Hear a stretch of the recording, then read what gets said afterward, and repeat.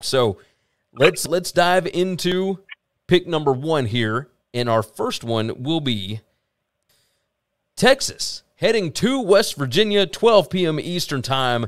West Virginia, a three point favorite, total of 56 and a half. Chris, West Virginia, five and two against the spread in their last seven games at home. Texas is, I mean, they lost to Kansas at home as, as a 30 point favorite last week.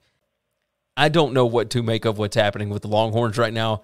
This appears to be uh, the purge, right? I mean, I, there's is there any way that you could possibly bet on Texas this weekend?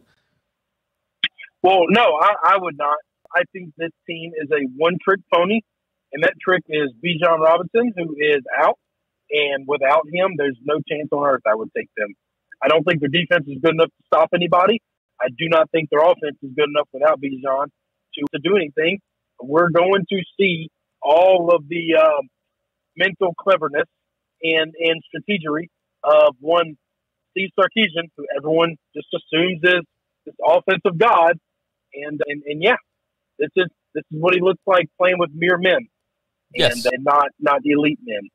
I I agree with you. I'm I'm rolling West Virginia minus three. You are doing the same. I mean, it got ugly in Austin really quick, didn't it?